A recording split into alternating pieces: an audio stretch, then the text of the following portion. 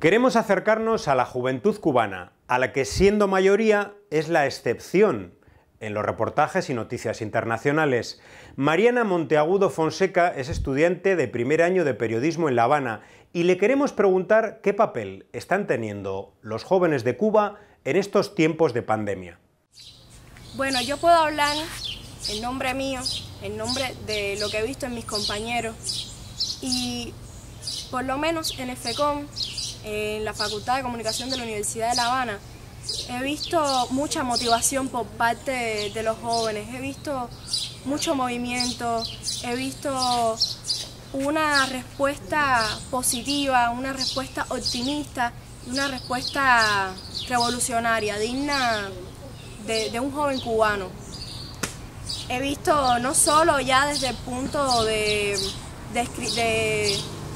lo que es escribir, de, de, lo que es interactuar en las redes sociales, de lo que es publicar, sino incluso eh, compañeros míos que han ido voluntariamente a centros de aislamiento a, ayudar a enfrentarse directamente al, al coronavirus. Tenemos unos jóvenes abnegados, creativos, trabajadores, y así los vemos yendo voluntariamente a los centros de, aislamiento, quedándose, alejándose de sus casas para ayudar a estas personas que, se han visto afectadas por la pandemia, que también tenemos a los estudiantes de medicina haciendo sus pesquisas, que todo el mundo reconoce que eso ha sido, que han tenido un papel fundamental en esta lucha contra la COVID-19 aquí en Cuba.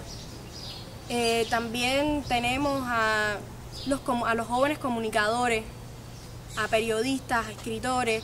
También tenemos a los muchachos que utilizan las redes sociales para promover la cultura, el arte. No podemos decir que la juventud cubana de hoy en día está perdida como nos hacen creer eh, muchos medios contrarrevolucionarios, que la juventud cubana está insatisfecha. No es la misma que la de antes, pero tampoco es una, una juventud que haya perdido fe en la revolución.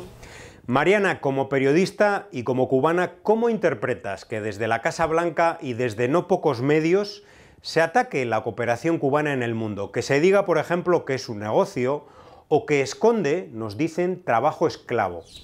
Han intentado desacreditarlo de todas las formas posibles porque, pero al final todo el mundo conoce que, que, ellos, lo, que ellos lo hacen por porque es lo que se le enseñó en Cuba, a ser, a ser solidario, a ser humano, a, llevar este servicio tan imprescindible para todos como es la medicina, llevarlo a otros lugares donde a lo mejor eh, los necesitan, donde no tienen la misma preparación que nosotros, que les falta, o simplemente porque no han, sabido, no han podido enfrentar correctamente la pandemia.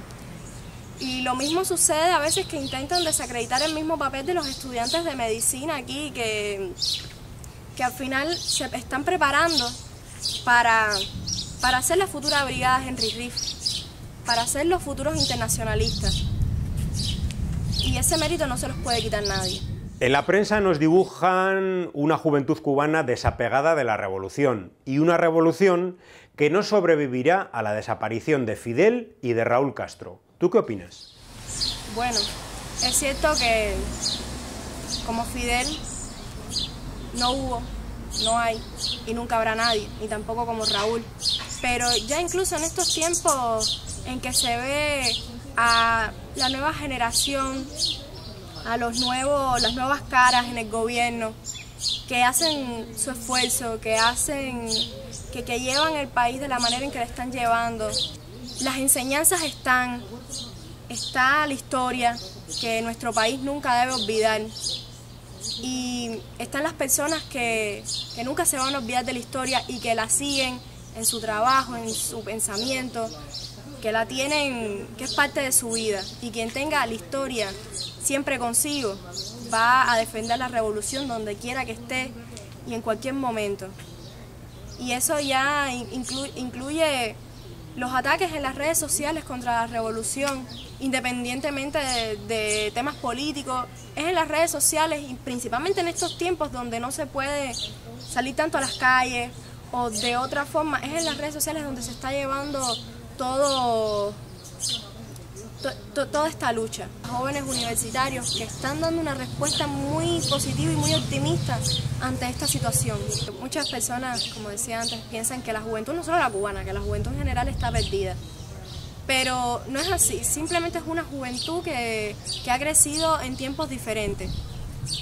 Yo creo que la juventud va a trabajar por hacer nuestro mundo mejor cada día, de hacer un mundo más unido, con con menos, con menos discriminación, con, con menos guerra, con más libertad.